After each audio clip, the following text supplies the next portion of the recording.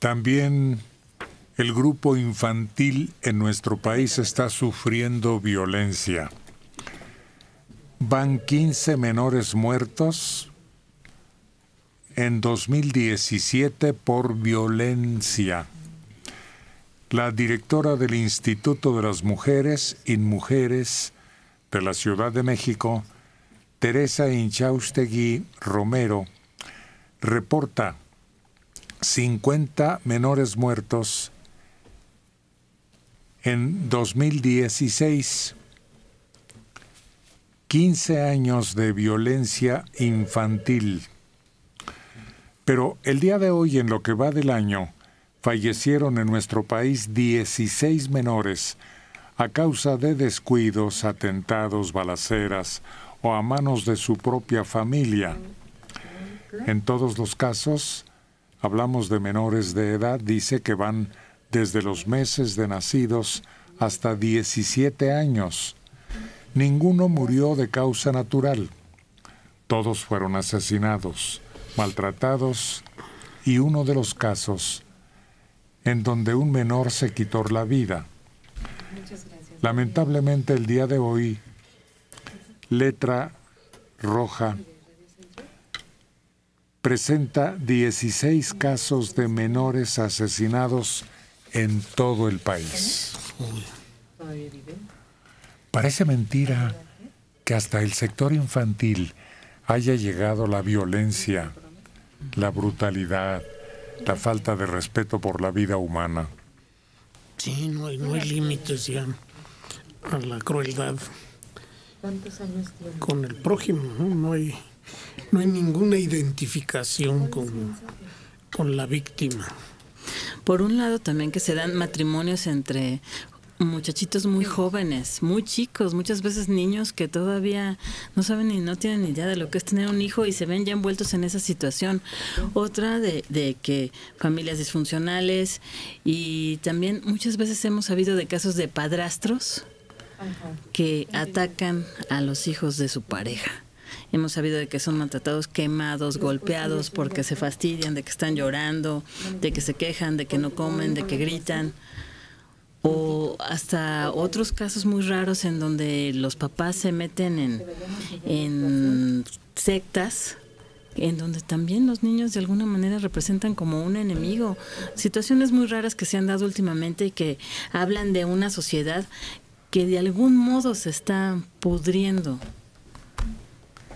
Lo peor es lo que no notamos, el maltrato, la humillación el rebajar la personalidad de niños que quedan con trauma. Y que posteriormente seguro van a convertirse en delincuentes. O en un desajuste mental que les va a inclinar a tener ese odio, ese resentimiento contra la sociedad. Llevan una vida muy desdichada cuando son adultos y muchas veces no alcanzan a explicar por qué. No lo reconocen. Entran en depresiones y cosas así. Porque hay que recordar que el niño que es víctima de la violencia termina por convencerse de que lo merece. Y al llegar adulto ese pensamiento no lo puede borrar, por eso no reconocen, no saben por qué son como son. Esto sí me asustó en Torreón, Coahuila. Ingirió pastillas con el propósito de suicidarse.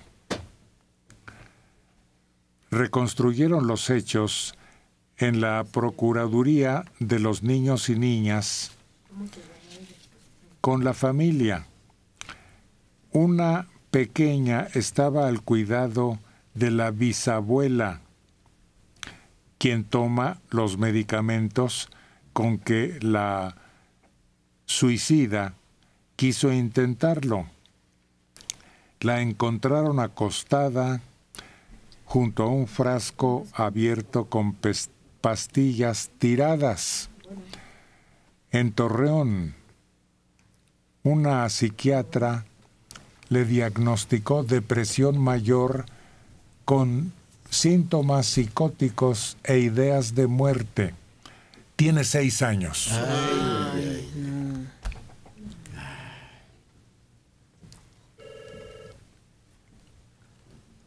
Tienen en promedio, dicen allá, un caso de niños entre 8 y 12 años con intentos suicidas, pero esta niña, canalizada al Centro de Salud Mental en Torreón, es la más pequeña de quienes han encontrado con ese deseo de morir.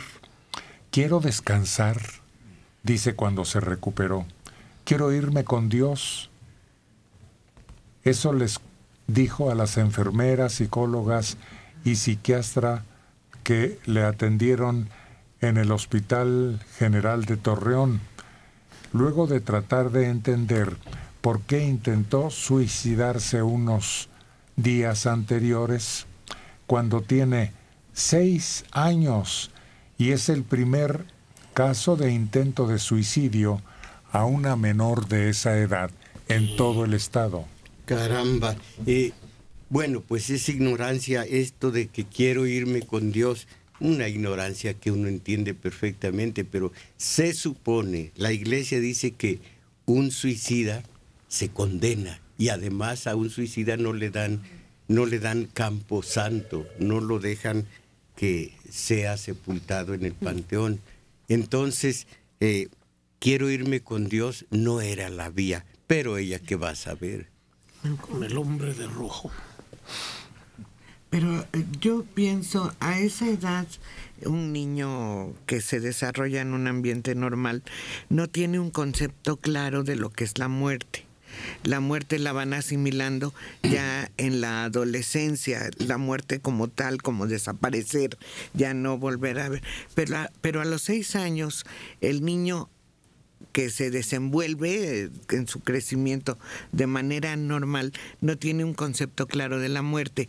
Pero hay que ver, esta niña debe haber tenido un trastorno de nacimiento, una depresión fisiológica y el ambiente que la rodeaba, convivir con una persona enferma que todo el día tomaba pastillas, se le hizo que quizá era lo normal, que era lo que todos vivían y ha de haber escuchado en alguna ocasión, ya quiero irme con Dios. Es imitación a esa edad. Como quiera que sea, es alarmante, sumamente grave, que a los seis años de edad opte por el suicidio un ser humano.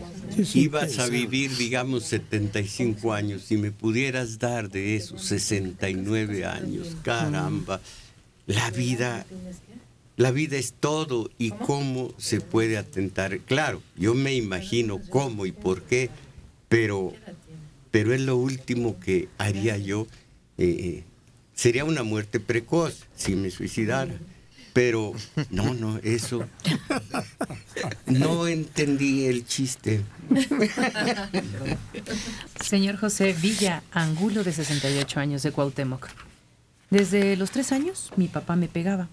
Dejó de hacerlo hasta los ocho años y eran golpes constantes. Mi padre decía que si no servía, no podía y no valía nada. Su actitud era, tú no eres nadie. Fue muy destructivo. Él era un psicópata. Ya de grande estuve internado cinco años en un anexo. Se llamaba Adictos Anónimos a las Relaciones Destructivas me diagnosticaron que tenía una relación pésima, pero conmigo.